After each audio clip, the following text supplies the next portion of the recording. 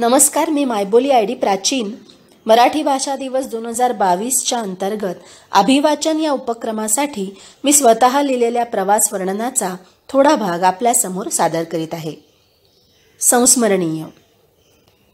आयुष्यात पहिल्यांदा विमान प्रवास करण्याची संधी मला मिळाली ती एकदम चीनला जाण्याच्या दृष्टीने. नवरा तिथे असल्यामुळे त्याने आम्हाला तिथून बोलावणं धाडलं होतं. त्याप्रमाणे मी आणि माझा लेख निघालो. पहिल्या विमान प्रवासाच्या ज्या पहिल्या वहिल्या मजा असतात त्याचा गमतीदार भाग सोडला तर जो संस्मरणीय भाग ठरला तो भाग मी आपल्यासमोर सादर करते. झालं असं की आम्हाला विमान बदलावं लागणार होतं एकदा. आमचा मधला टप्पा होता मलेशियामधल्या क्वालालंपूर इथे. तर इथून मुंबईहून जाणारं जे विमान होतं ते क्वालालंपूरला दोन तास उशिरा पोचलं अर्थातच वेळेचा जो भाग आपल्याला ॲडजस्ट करायला लागतो परदेशात गेल्यावर. तसा आपापल्या घड्याळात आम्ही केला होता तरी पण आम्हाला नेमकी कल्पना नव्हती की आपल्याकडे किती वेळ शिल्लक आहे. त्यातून नवरोबांनी थोडंसं अतिकाळजीने आम्हाला जागरूकतेच्या सूचना दिल्या होत्या. त्यानुसार कुठल्याही काउंटरमधून पटकन कुठल्याही दरवाजामधून पटकन बाहेर पडू नका. चुकून एक्झिटमधून बाहेर गेलात तर सगळं पहिल्यापासून सोपस्कार करायला लागतील. हे पक्क लक्षात ठेवल्यामुळे आम्ही अगदी भांबावल्यासारख्या इथे तिथे काही सूचना दिसत आहेत का? कुठे ट्रान्सफर काउंटर आहे? हे बघत होतो. एकीकडे घरच्यांना खुशाली कळवणं सुरू होतं. आम्हाला कोणी विचारण्यासाठी कर्मचारी दिसत नव्हता ना कोणताही भारतीय चेहरा. सुदैवाने एक भारतीय माणूस दिसला त्याला आम्ही विचारल्यावर त्याने आम्हाला ट्रान्सफर काउंटर तर दाखवला. तिथल्या मुलीला अगम्य भाषेमध्ये म्हणजे तिलाही अगम्य आणि तिचं उत्तर आम्हाला अगम्य भाषा. तिने आम्हाला समजावलं की तुमचं पुढचं विमान हे लगेचच आहे ताबडतोब एच टर्मिनसला जा. आता एच टर्मिनसला जायचं कसं? हेही काही माहीत नाही. पुन्हा एका महाराष्ट्रीयन दिसणारे आपण खरं म्हणजे तो महाराष्ट्रीयन नव्हता पण एक भारतीय माणसाला पकडलं त्याचं शेपूट काही आम्ही शेवटपर्यंत सोडलं नाही कारण तो सुद्धा एच टर्मिनसवर चालला होता वेगळ्या विमानासाठी. एअर ट्रेनमधून थोडा वेळ एअर बसमधून या सगळ्या गोष्टी आयुष्यात पहिल्यांदा माझ्या मला करायला मिळत होत्या. त्यातून प्रवास करून एकदाचे एज काउंटरवर एज टर्मिनसवर पोचलो खरे. पण हाय रे दैवा. तिथे गेल्यानंतर नऊ पस्तीस होऊन गेल्यामुळे आमचं विमान निघून गेलं होतं. म्हणजे खरं तर विमान होतं पण बोर्डिंग बंद झालं होतं. इट इज क्लोज्ड त्या कर्मचाऱ्यांनी कोरडेपणाने आम्हाला सांगितलं. ट्रेन पकडणं आणि विमान पकडणं याच्यात शब्दशः जमीन आसमानाचा फरक असतो याची ज्वलंत जाणीव मला झाली. ज्वलंत अशासाठी की माझा घसा कोरडा पडला हातपाय थरथरायला लागले एवढ्या थंडीत मला घाम फुटू लागला आता काय करायचं? त्याने पुन्हा ट्रान्सफर काउंटरकडे पाठवलं. एकीकडे नवऱ्याचे मेसेजेस त्याचा ताण वाढत चाललेला की आता ही बाई काय करणार? माझ्या अति भित्र्या स्वभावाचा त्यांना चांगला परिचय असल्यामुळे असेल पण ते आम्हाला सतत विचारत होते की काय करताय काय झालं? आणि इथे आम्ही त्या ट्रान्सफर काउंटरवरच्या मलेशियन मुलीची मदत घेतली. खरोखर मी तिची आजन्म ऋणी राहीन.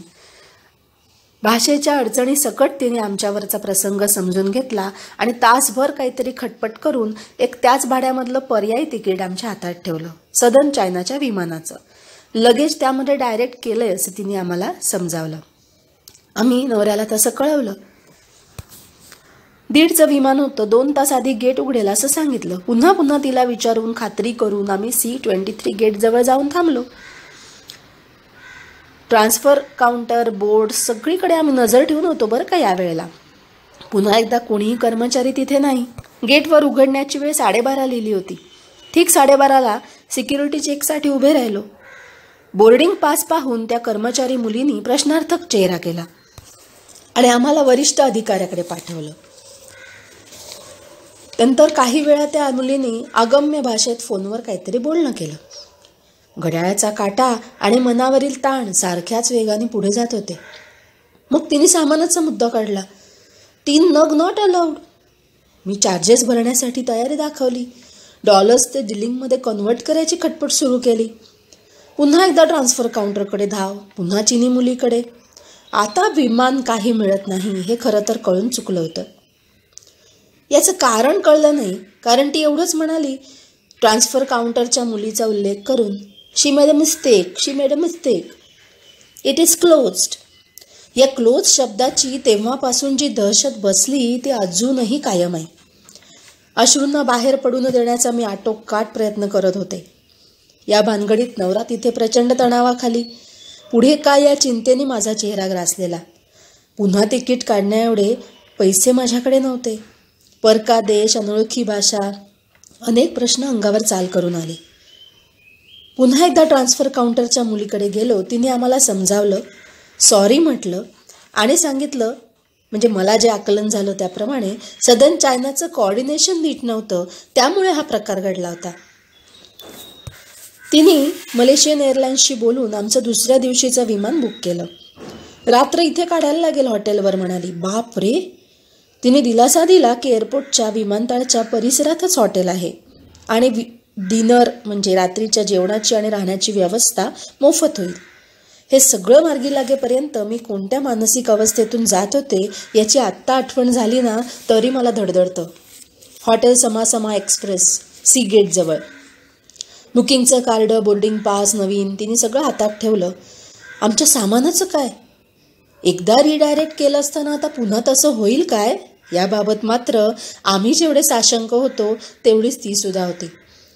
ती म्हणाली I am not sure I sent mail if it is not there you contact office of Malaysian airlines in कॉकजाऊ बिचारी जमेल तेवढी मदत करतच होती. पुन्हा आताच झाले मी.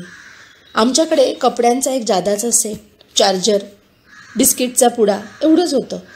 आत्ता लक्षात आलं की दिवसभर आम्ही शेंगदाण्यांशिवाय काहीही खाल्लं नव्हतं.